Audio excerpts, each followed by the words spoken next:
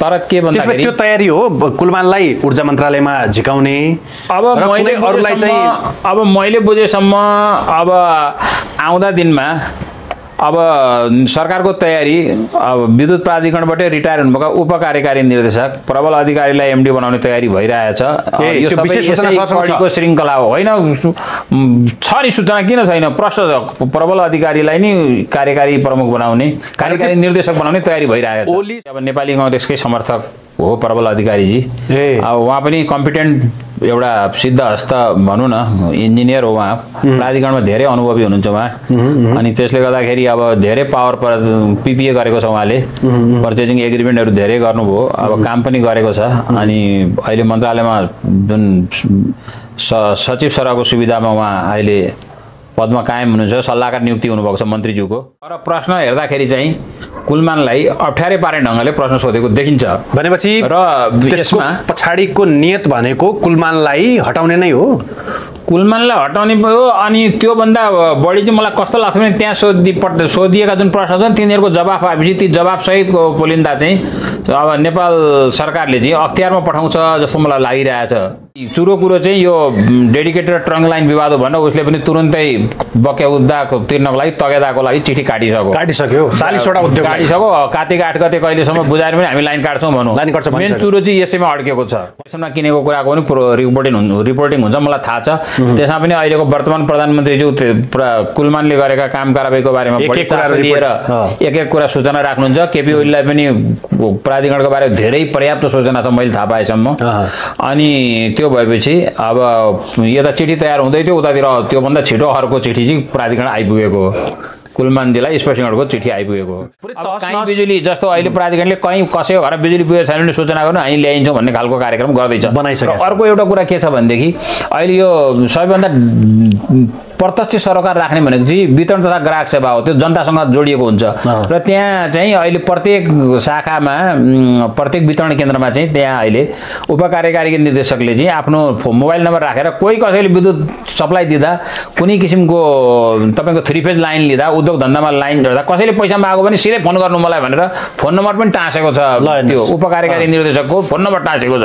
त्यो आजसम्म न- नभएको काम गरेको। छ। त्यसले गर्दा सबै मान्छे त्यहाँ करप्टेड छन् भनेर हामीले भन्नु हुँदैन।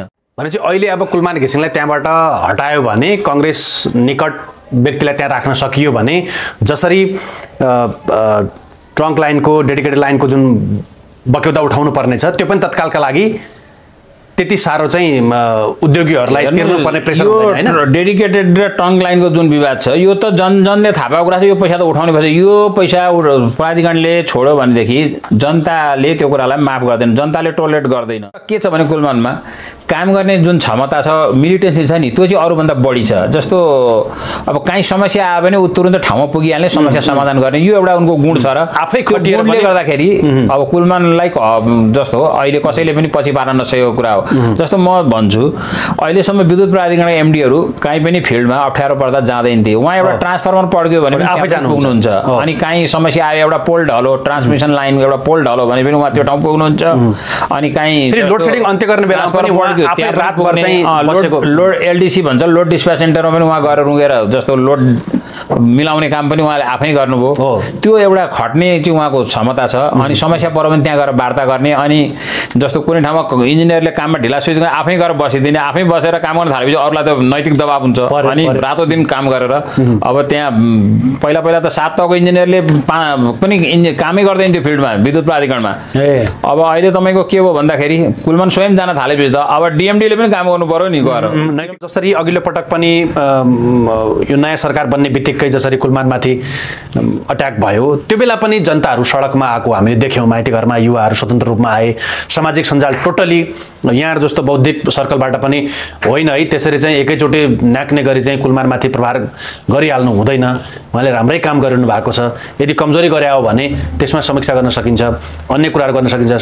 सत्ता साझेदार दल नेपाली कङ्ग्रेसले नै सार्वजनिक लेखा समितिमा दरब भएर चाहिँ कुलमानको पक्षमा उभिनु भयो भनेपछि अहिले पनि फेरि यो ऊर्जा मन्त्रीद्वारा सोधिएको स्पष्टीकरणमा पनि यदि हटाउने चलखेल भयो भने जनताले फेरि प्रतिवाद गर्छन्?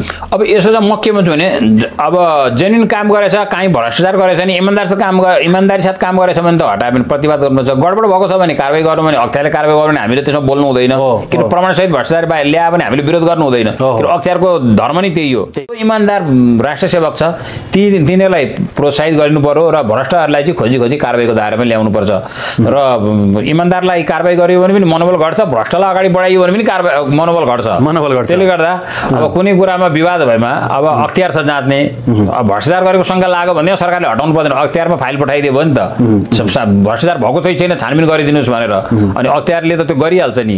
प्रमुखहरूले अब तिनीहरूलाई खुसी पार्नको लागि अस्ट्रेलिया भ्रमण गराएका कथाहरू पनि छन्। त्यो हामीलाई जानकारी छ। हेर्नुहोस् मलाई पनि जानकारी छ त्यस्ता कुराहरू। अब अस्ट्रेलिया भ्रमण गराएका थिए। किन भन्दाखेरि त्यहाँ पैसा खर्च गराएको कारण के भन्दा त्यो विभिन्न कुराहरू पास गराउँथ्यो ए। त्यो कुरा निकै अगाडिको कुरा हो तर अहिलेसम्म त्यसबारेमा छानबिन भएन। अब यतिखेर जब यो डेडिकेटेड र ट्रङ्क जुन विवाद हो आयो। त्यति बेर पछाडि चाहिँ अब अहिले त्यो कुराहरू निकालिँदैछ।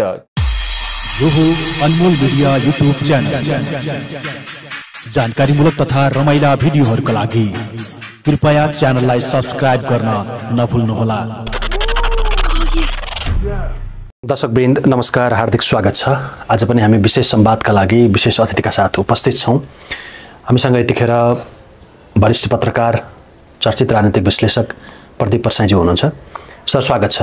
धन्यवाद। पछिल्लो समय जुन ऊर्जा मन्त्रीले पन्ध्र बुधे स्पष्टीकरण सोध्नुभयो कुलमान घिसिङलाई यसलाई हामीले कसरी लिन सकिन्छ?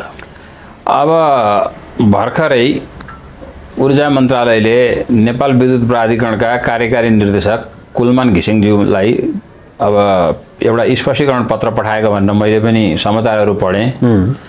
अब त्यो पत्रको स्पष्टीकरणको जुन शैली हेरेँ मैले त्यो त्यो शैली हेर्दाखेरि चाहिँ त्यो स्पष्टीकरणमा सामान्य कुराको सोधपुछ भन्दा पनि यो बयानको ढङ्गले जवाफ आओस् भन्ने मकसद राखेर ए एउटा बयान लिने ढङ्गले पठाएको प्रश्नावली जस्तो देखियो त्यो क्वेसनेयरहरू छ जुन त्यो। अब एउटा कुरा के छ भने यो नेपाल विद्युत प्राधिकरण भनेको नेपाल सरकारको हन्ड्रेड पर्सेन्ट अन्डरटेकिङ संस्था हो।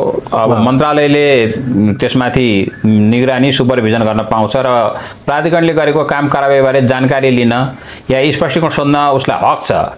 तर हक भए तापनि अहिलेको परिस्थितिमा चाहिँ यो राम्रो उद्देश्य राखेर चाहिँ मन्त्रालयले स्पष्टीकरण सोधेको जस्तो देखिँदैन।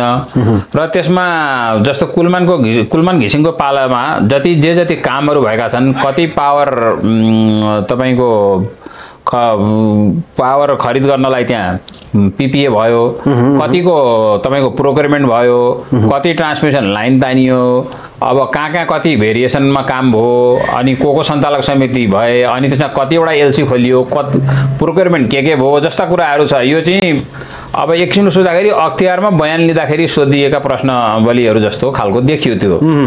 अब कुलमान घिसिङमाथि छानबिनै हुनु हुँदैन कुलमान घिसिङले केही गडबड गरे भने का ऊ कानुनभन्दा माथि छन् भनेर म त्यो व्यवहार सरकारले गरोस् भन्ने कुरा अपेक्षा त राख्दिनँ। तर के छ भने कसैमाथि नियत राखेर फसाउने नियत राखेर मन्त्रालयले आफ्नो अन्तर्गतको संस्थाहरूका प्रमुखहरूलाई अब अप्ठ्यारोमा पार्ने खालको वातावरण चाहिँ सरकारले बनाइदिनु हुँदैन।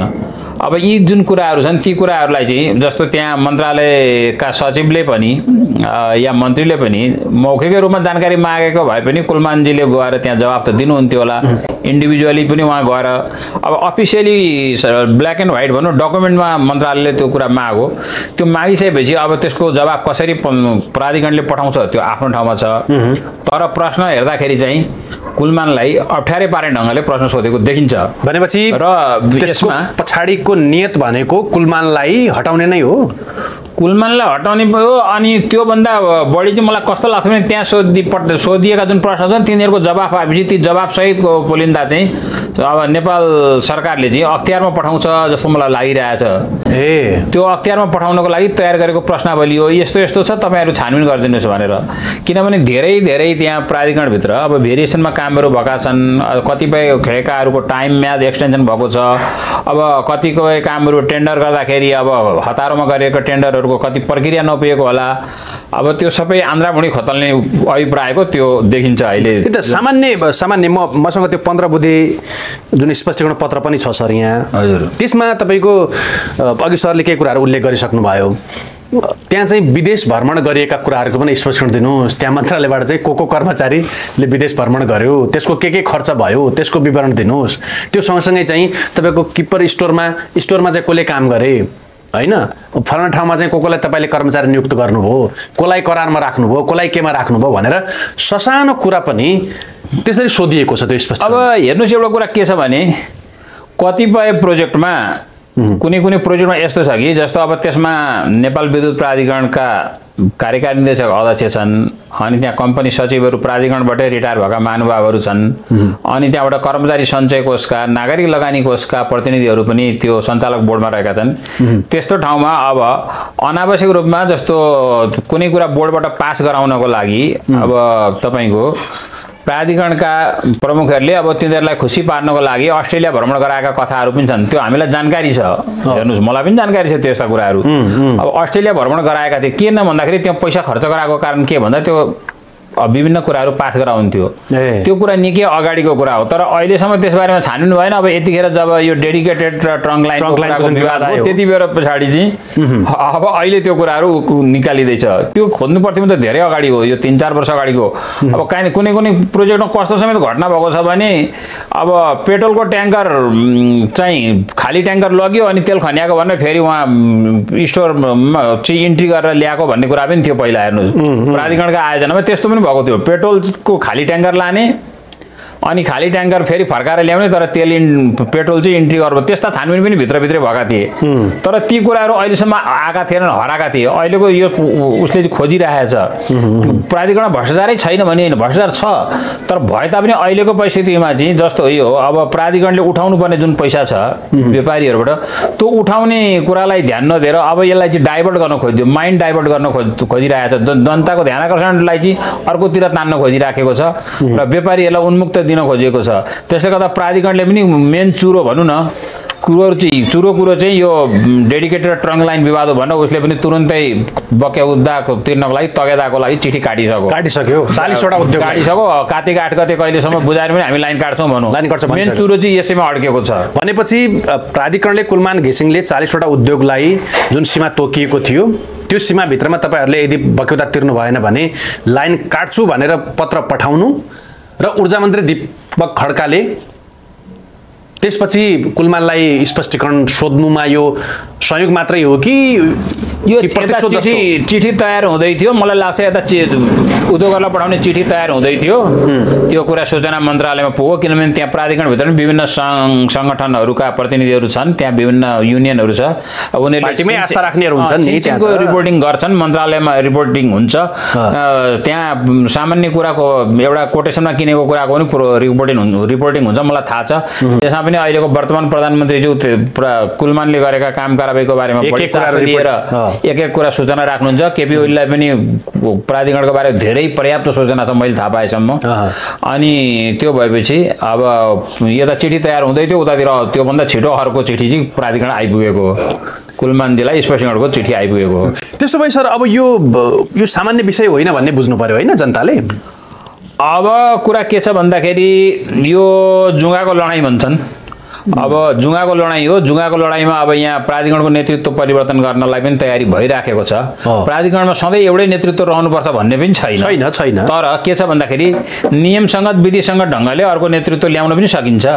अब योभन्दा अगाडिको कार्यकारी प्रमुखलाई चाहिँ मन्त्रालयमा लगेर विशेष पद अफिसर अनि स्पेसल ड्युटीमा खटाएर अर्को अहिले कुलमानजीलाई फेरि रिस्टोर गरियो भने अहिले कुलमानजीलाई पनि त्यसरी नै राम्रोसँग इज्जतपूर्ण तरिकाले उहाँको अवधिभर मन्त्रालयमा एडभाइजर राखेरै पनि अर्को ल्याउन पनि सकिन्छ।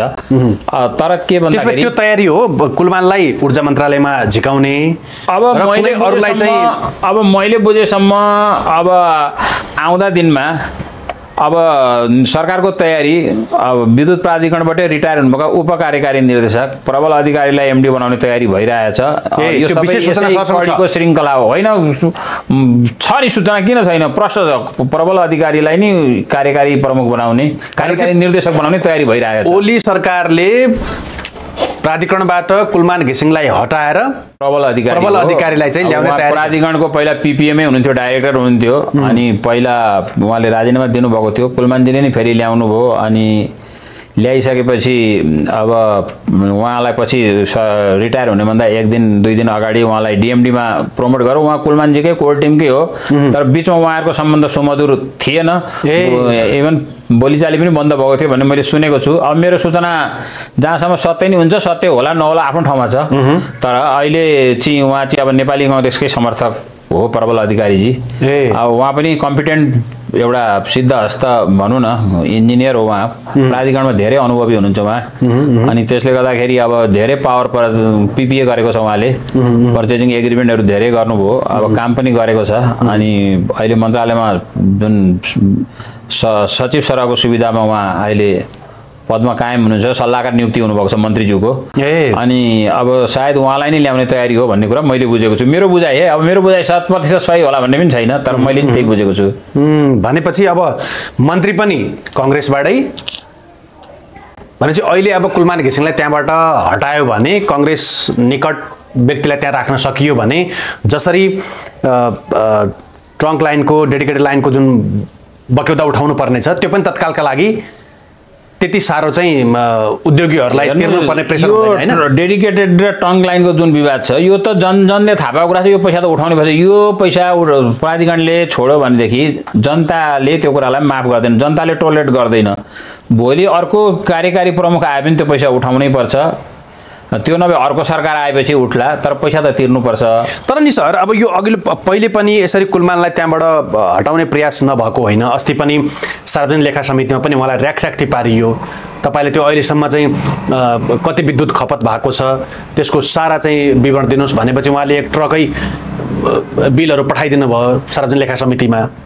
होइन त्यहाँ पनि त्यहाँबाट पनि हटाउन नसकिसकेपछि उहाँलाई सिधै अख्तियारमा पठाउने भन्ने करिब करिब निर्णय तयारी तपाईँको के हुन्छ भनेदेखि पेल्ने भन्छ नि एउटा जुन चलन छ नि। कर्मचारी उसमा पेल पेलाइमा परेको भन्छन्। अब कसैलाई पेल्नु पर्यो भने त्यस्तै खालको गर्ने उसको समग्र दिमाग चाहिँ अब त्यो स्पष्टीकरण लेख्न त्यसैको तयारीमा।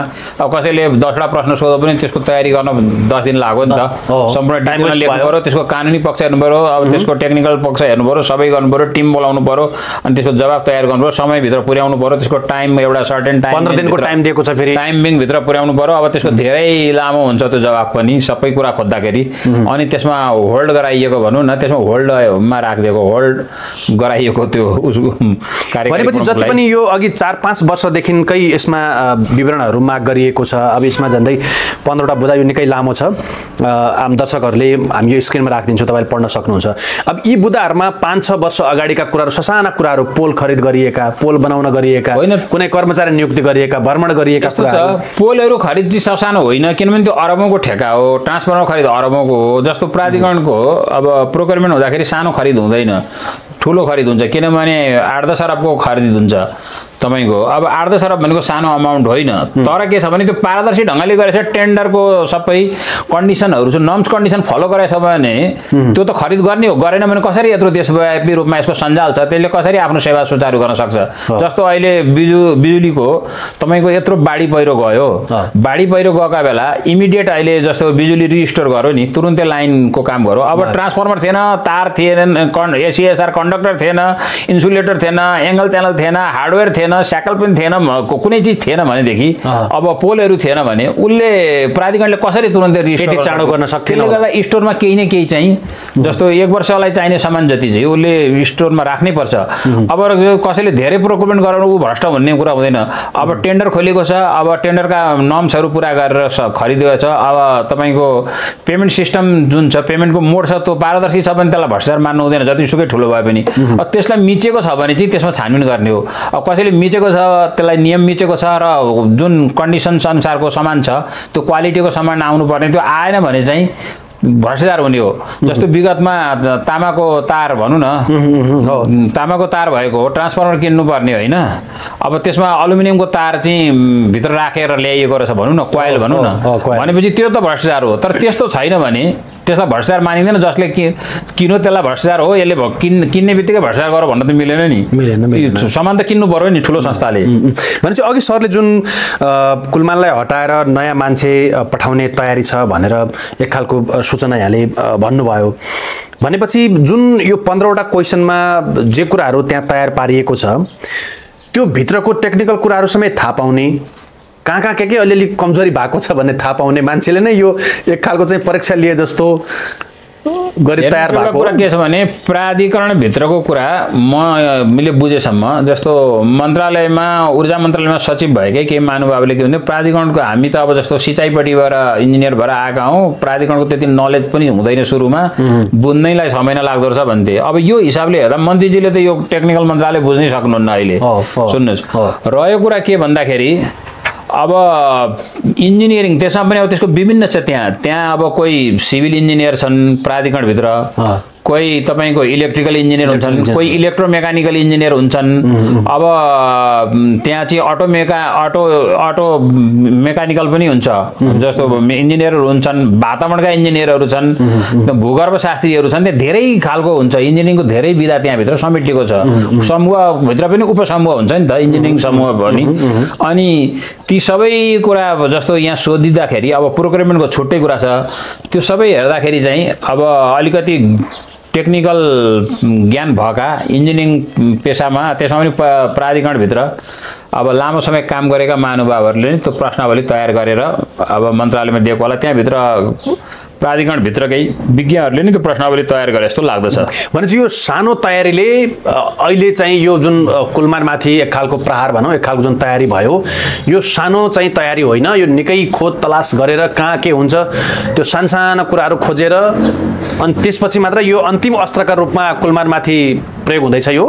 हेर्नुहोस् यो अहिले मन्त्रालय तर्फबाट मात्रै होइन अन्य ठाउँबाट पनि अहिले अख्तियारबाट पनि प्राधिकरण र त्यसका अवयवभित्र अहिले थुप्रै काम कारवाहीबारे खोज अनुसन्धान र प्रश्नहरू सोधेर जस्तो प्राधिकरणका र त्यसका कम्पनीहरूलाई पठाइराखिएको छ अहिले अख्तियारले पनि पठाइरहेको छ। त्यो हामीलाई जानकारी छ।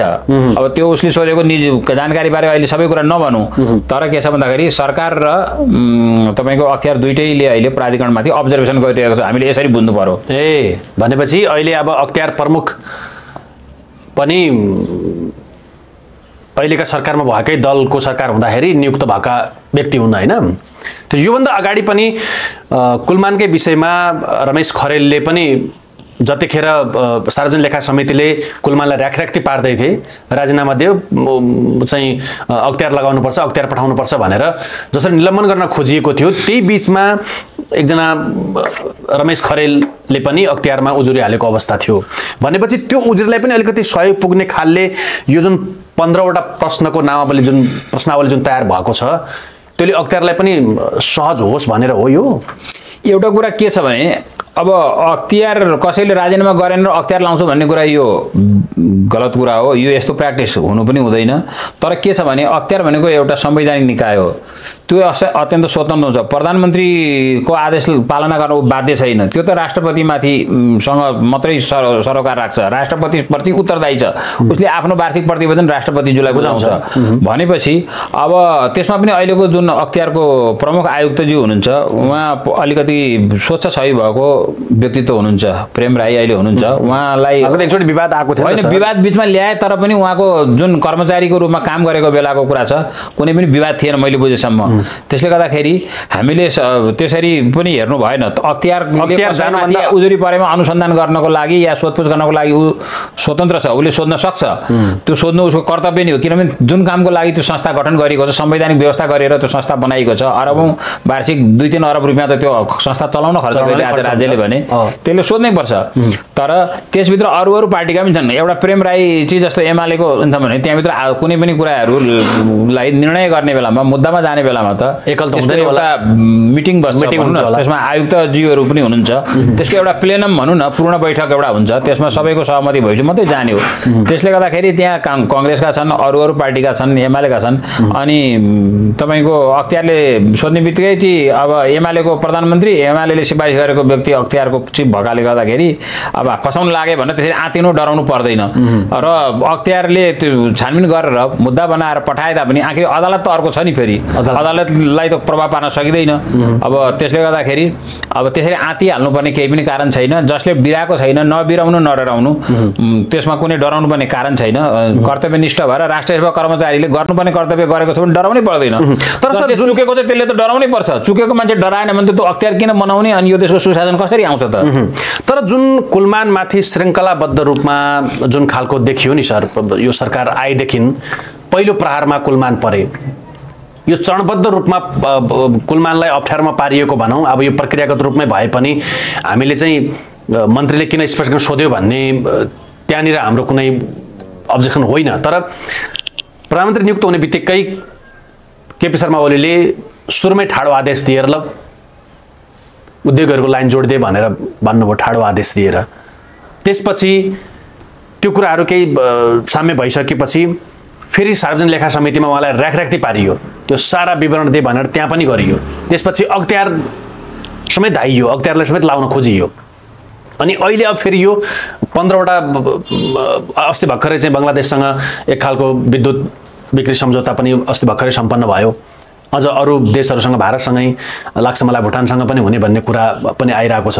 यो कुराहरूमा राम्रै हिसाबले प्राधिकरणलाई अगाडि लगिरहेको बेलामा कुलमालमाथि यसरी श्रृङ्खलाबद्ध रूपमा यो सरकार आइसकेपछि चाहिँ किन आक्रमण हुँदैछ भन्ने हो क्या प्रश्न?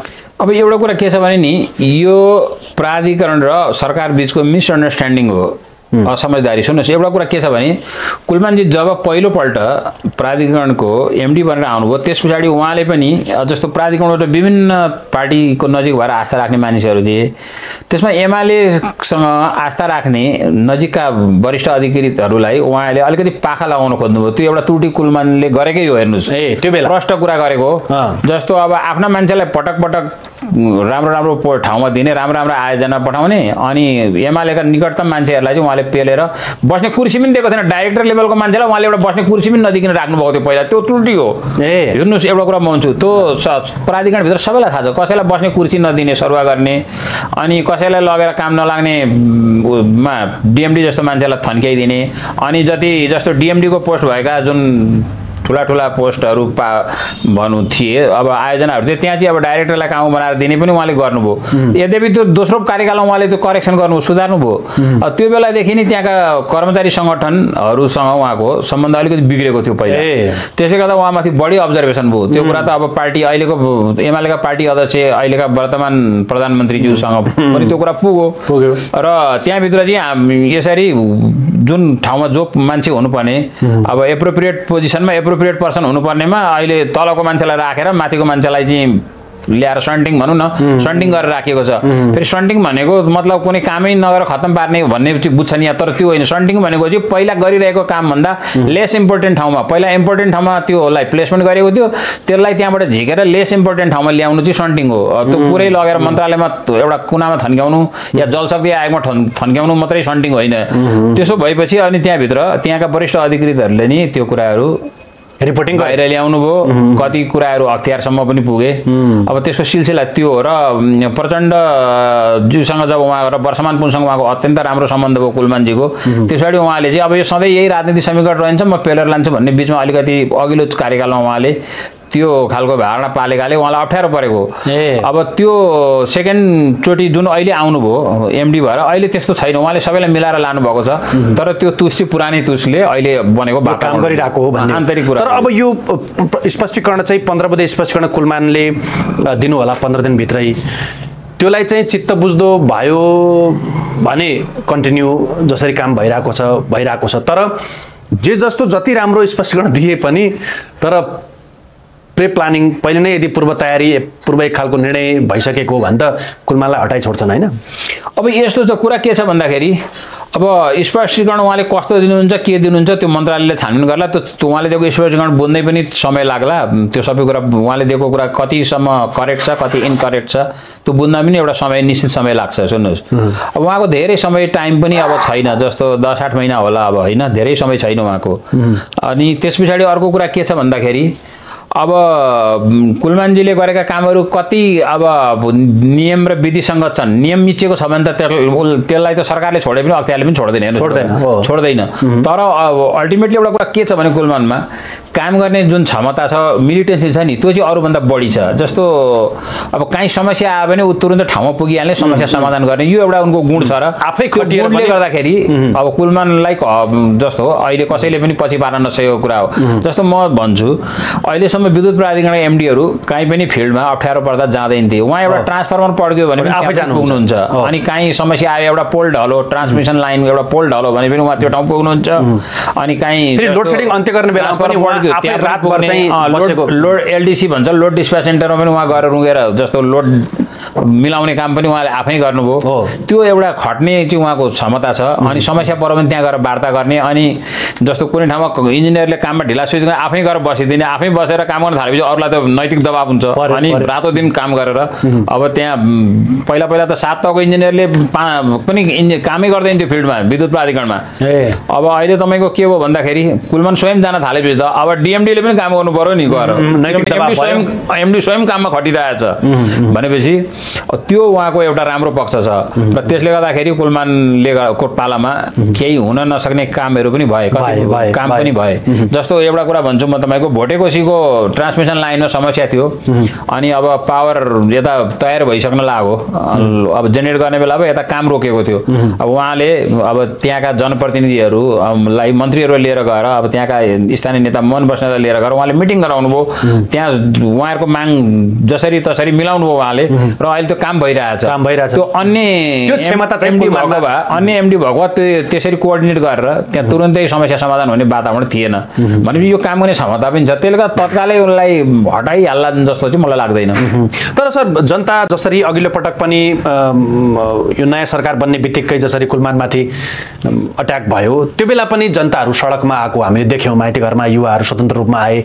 सामाजिक सञ्जाल टोटली यहाँ जस्तो बौद्धिक सर्कलबाट पनि होइन है। त्यसरी चाहिँ एकैचोटि नाक्ने गरी चाहिँ कुलमानमाथि प्रहार गरिहाल्नु हुँदैन। उहाँले राम्रै काम गरिरहनु भएको छ।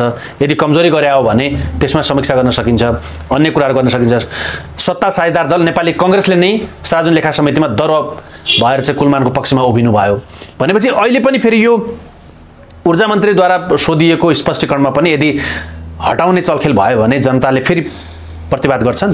अब यसो चाहिँ म के भन्छु भने अब जेन्युन काम गरेछ काहीँ भ्रष्टाचार गरेछ भने इमान्दारसित काम इमान्दारी साथ काम गरेछ भने त हटायो भने प्रतिवाद गर्नु छ गडबड भएको छ भने कारवाही गर्नु भने अख्तियारले कारवाही गर्नु भने हामीले त्यसमा बोल्नु हुँदैन। किन। प्रमाणसहित भ्रष्टाचार बाहिर ल्यायो भने हामीले विरोध गर्नु हुँदैन। अख्तियारको धर्म नै त्यही हो। त्यही कामको लागि अख्तियार बनाएको छ।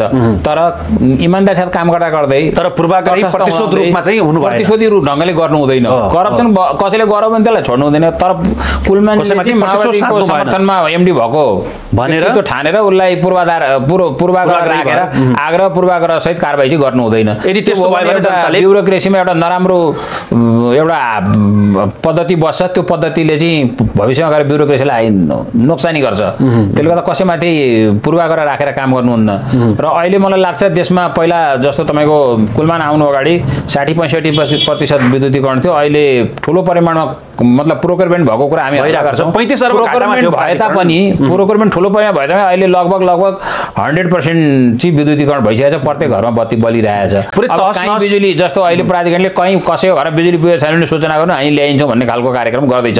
र अर्को एउटा कुरा के छ भनेदेखि अहिले यो सबैभन्दा प्रत्यक्ष सरोकार राख्ने भनेको चाहिँ वितरण तथा ग्राहक सेवा हो। त्यो जनतासँग जोडिएको हुन्छ। र त्यहाँ चाहिँ अहिले प्रत्येक शाखामा प्रत्येक वितरण केन्द्रमा चाहिँ त्यहाँ अहिले उपकार्यकारी निर्देशकले चाहिँ आफ्नो मोबाइल नम्बर राखेर कोही कसैले विद्युत सप्लाई दिँदा कुनै किसिमको तपाईँको थ्री फेज लाइन लिँदा उद्योग धन्दामा लाइन जोड्दा कसैले पैसा मागो भने सिधै फोन गर्नु मलाई भनेर फोन नम्बर पनि टाँसेको छ। त्यो उपकार्यकारी निर्देशकको फोन नम्बर टाँसेको छ। त्यो आजसम्म न- नभएको काम गरेको। छ। त्यसले गर्दा सबै मान्छे त्यहाँ करप्टेड छन् भनेर हामीले भन्नु हुँदैन। त्यसो भए जसरी कुलमानले काम गरिरहेका छन् एउटा ऋणमा डुबेको पुरै तहस नहस भइसक्यो पैँतिस अरबभन्दा माथि घाटामा गइसकेको प्राधिकरणलाई अहिले झन्डै लाग्छ मलाई डबल झन्डै डबल फाइदामा चाहिँ अहिले प्राधिकरण छ। छिमेकी देशहरूलाई ऊर्जा बेचिरहेको अवस्था हो। र यसैबाट चाहिँ देशले पनि अब देशको ऊर्जामा हामी निर्भर भएर देशलाई एउटा समृद्धिको बाटोमा अगाडि लान सकिन्छ भन्ने बहस पनि छ केही विश्वास पनि छ। भने चाहिँ यो बिचमा जसरी जुन खालको राजनीति भनौँ अब यो प्रतिशोध रूपमा भनौँ या केही अरू कुराहरूमा जुन खालको प्राधिकरणमा भइरहेको छ यसले अन्य कुलमान जस्तै भनौँ एउटा जिम्मेवार भएर काम गर्ने राष्ट्रभक्त कर्मचारीहरूलाई पनि एक खालको नेगेटिभ प्रभाव पर्छ योले सर? हेर्नुहोस् जो मान्छे इमान्दार छ इमान्दार राष्ट्र सेवकलाई हतोत्साहित बनायो भने काम गर्न पक्कै पनि मनोबल घट्छ अन्य राष्ट्र सेवकहरूको पनि। त्यो कदापि गरिनु हुँदैन। र जो करप्टेड छ भ्रष्ट छ त्यस्ता मान्छेहरू ठाउँमा पुगेर तिनीहरूलाई चाहिँ अगाडि बढाइयो र अरूलाई बढाइएन भने पनि मनोबल घट्छ। हेर्नुहोस् जस्तो अब दूरसञ्चार र से यो प्रिन्टिङ सम्बन्धी दुईजना पक्राउ परेका छन्। अब त्यस्तो करतुत गर्ने मान्छेलाई। कारवाही भएन भने पनि मनोबल घट्छ। अहिले सिभिल एभिएसन अथोरिटीको कुरा आइरहेछ। त्यहाँ अब अरबौँ अरब भ्रष्टाचारको कुरा भइरहेछ। त्यहाँ मन परि चलिरहेछ। अब त्यहाँको छानबिन भएन भने पनि मनोबल घट्छ। किनभने त्यहाँ राम्रा डाइरेक्टरहरू पनि छन् राम्रा प्राविधिकहरू छन्। अनि तिनीहरू अगाडि नबढ्ने अनि एउटा करप्टेडले चाहिँ अब एउटै प्रोजेक्टमा बिसौँ अरब घोटाला गरेर अनि देश लुटेर अनि ठाउँ ठाउँमा पैसाको बोरा पुर्याउँछ भन्दैमा त्यसलाई संरक्षण गर्ने पनि कुरा हुँदैन। तर जो इमान्दार राष्ट्र सेवक छ ती तिनीहरूलाई प्रोत्साहित गरिनु पर्यो र भ्रष्टहरूलाई चाहिँ खोजी खोजी कारवाहीको दायरामा ल्याउनुपर्छ। र इमान्दारलाई कारवाही गरियो भने पनि मनोबल घट्छ भ्रष्टलाई अगाडि बढाइयो भने पनि मनोबल घट्छ। मनोबल घट्छ। त्यसले गर्दा अब कुनै कुरामा विवाद भएमा अब अख्तियार छ जाँच्ने अब भ्रष्टाचार गरेको शङ्का लाग्यो भने सरकारले हटाउनु पर्दैन। अख्तियारमा फाइल पठाइदियो भने त सा- सा- भ्रष्टाचार भएको चाहिँ छैन छानबिन गरिदिनुहोस् भनेर। अनि अख्तियारले त त्यो गरिहाल्छ नि। जस्तो सर अब जुन सामाजिक सञ्जालमा कसरी पनि चर्चा भइरहेको छ भने अहिलेका ऊर्जा मन्त्री दीपक खड्काले जसरी कुलमानमाथि प्रश्न उठाउनु भयो पन्ध्रवटा प्रश्न खडा गर्नुभयो उहाँ आफै पनि स्काउटको जग्गा होइन? बाह्र रोपनी जग्गाभन्दा बढी करोडौँको त्यो जग्गा चाहिँ उहाँले आफैले हिनामिना गर्नुभएको छ कब्जा गर्नुभएको छ भनेर आफै त्यो विवादमा मुछिएको मान्छे। आफै चाहिँ तपाईँको स्वार्थ बाजिने ठाउँमा मन्त्रालयमा जानुभयो उहाँ आफै पनि ऊर्जा सेक्टरको व्यवसायी हो। भनेर उहाँमाथि पनि प्रश्न छन्। फेरि उहाँले चाहिँ कुलमानमाथि प्रश्न उठाउने हो। कतिको जायज हो यस्तो हुन्छ भनेर पनि- हेर्नुहोस् स्काउटको जग्गा उहाँले हिनामिना गरेको छ भने स्काउटले खोज्ने हो र स्काउटले न्याय माग्न जाने हो त्यो जग्गा उहाँले छोड्नुपर्छ।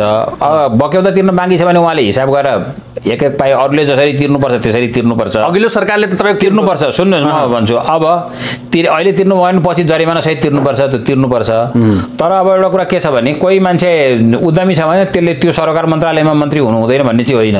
हुनुपर्छ तर उसको नियत चाहिँ सफा हुनु छ त्यो आफू मन्त्री भयो भनेर आफूलाई फाइदा हुने ढङ्गले निर्णय नीति निर्णय बनाउने गरियो भने चाहिँ त्यो गलत कुरा हो अब आफूले चाहिँ कुनै ऊर्जा व्यवसायी छ अब आफू ऊर्जा मन्त्री भयो भने अझ त्यो आफूले बुझेको ज्ञान र सिपलाई चाहिँ त्यसको विकासमा बढोत्तरीमा भनौँ न मन्त्रालयलाई अगाडि बढाउन त्यो लगायो भने त राम्रो हो। तर अब त्यो गलत इन्ट्रे इन्ट्रेस्ट राखेर काम गऱ्यो भने चाहिँ त्यति बेला चाहिँ तिनीमाथि चाहिँ औँला उठाउनुपर्छ जनताले। फेरि यो स्वार्थ बाजिने ठाउँमा जस्तोमा त हाइड्रो पावरमा उहाँको लगानी छ हाइड्रो पावर व्यवसायी नै हो अ, उहाँ त्यसरी चाहिँ हुँदाखेरि यो स्वार्थ बाजिने मन्त्रालयमा जानु हुँदैन भनेर त पहिले पनि उहाँले त्यो मन्त्री भएको हिसाबले आफ्नो प्रोजेक्ट आफ्नो हाइड्रोलाई फाइदा पुर्याउने काम गर्नु भने त्यहाँ अब्जर्भेसन गर्नु पऱ्यो नि प्राधिकरणका मान्छेहरूले बाहिर ल्याउनु पऱ्यो नि त्यहाँ किनभने अहिले त सबै खबरदारी गर्ने छ मिडिया छ अब अख्तियारमा उजुरिहाल्न सकिन्छ त्यस्तो भयो भने त खबरदारी गर्नुपर्छ।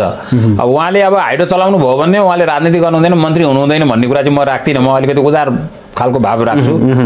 मन्त्री हुनुहुन्छ तपाईँ मिडिया चलाउनुहुन्छ भोलि सञ्चार मन्त्री हुने दिन आयो भने तपाईँ नहुने भन्ने त हुँदैन नि। त मिडिया व्यवसाय यो हुँदैन भन्दा हुन्छ त हुन्छ। तर तपाईँको नियत के हुनुपर्छ भन्दा सरकारको कामलाई आफूले लिएको दायित्व पुरा गर्ने इमान्दारी साथ हुनुपर्छ तपाईँले कुनै त्यसमा भेस्टेड इन्ट्रेस्ट राख्नु भएन। जानकारीमूलक तथा रमाइला भिडियोहरूका लागि कृपया च्यानललाई सब्सक्राइब गर्न नभुल्नुहोला। Yes.